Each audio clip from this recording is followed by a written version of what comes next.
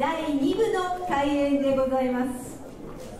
第2部はまず岡田光一と東京から駆けつけてくださいましたジャズピアニストの佐藤正彦さんの演奏をお楽しみください。佐藤正彦さんは2003年のデビューコンサートにもご出演くださいました。それではごゆっくりお楽しみください。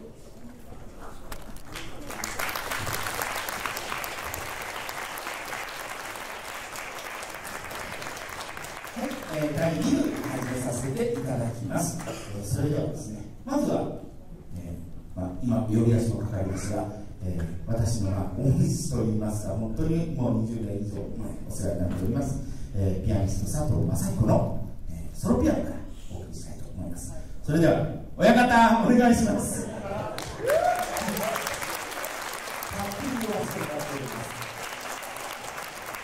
えー、おめでとうございます。漫才やれって言われてたけ。どえあの翔さんにちょっと喋っていただいてから、ええ、あなたがやっぱりえ主役があのなんかなんかしないとこっちからなんか言えない。あそうですこれでまああのまあデビューからちょっとねまあデビューって10年前にあの別の会場でねあのやらせてもらってそれからそれから先10年どんなところがまあ若干なりとも進歩したかなということですね成長したね。いろいろ、うん、横幅が。幅が広くなった。体型のです。かいやあの音楽も。ありがとうございます。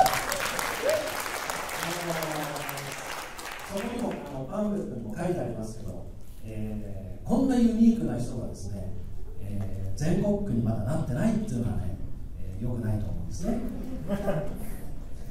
りがたいなそれをあの全国区にするかしないかというのはあの皆さんなんですから、えー、今度30周年をやるときは、えー、1人50人ずつ えとちゃんと箱だけはあるんですね。シンフォニーホールという2000規模のところがありますあじゃあ、ね、次はそこかねえそこではあのスタイルメイのピアノご用意してお待ちしております。その頃まであの引退しないでいられたらね、えー、大丈夫です